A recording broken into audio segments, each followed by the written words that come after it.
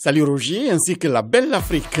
Dans ce segment sport, nous retrouvons Tierno Saïdou Diakité, chroniqueur sportif guinéen. Le tirage au sort pour la Coupe du Monde 2018 en Russie a eu lieu ce vendredi. Quelles sont les chances des équipes africaines à ce rendez-vous mondial? J'avoue que les chances des représentants africains sont quelque peu minces parce que sur les cinq pays qui vont avoir l'honneur de nous représenter, je vois un peu le Sénégal et le Nigeria peut-être se tirer d'affaire dans leur groupe respectif. Le Nigeria qui avait battu en match amical l'équipe de Lionel Messi, le score c'était 4 à 2. Oui, vous savez, ça va être la cinquième confrontation en phase finale entre le Nigeria et l'Argentine, mais il faut dire que le Nigeria a le potentiel qu'il faut pour, euh, je pense, se tirer d'affaire euh, dans son groupe euh, avec l'Argentine. Le Sénégal, si ils arrivent à bien négocier leur match contre la Colombie et contre le Japon, qui pourront aller en huitième de finale. Bon,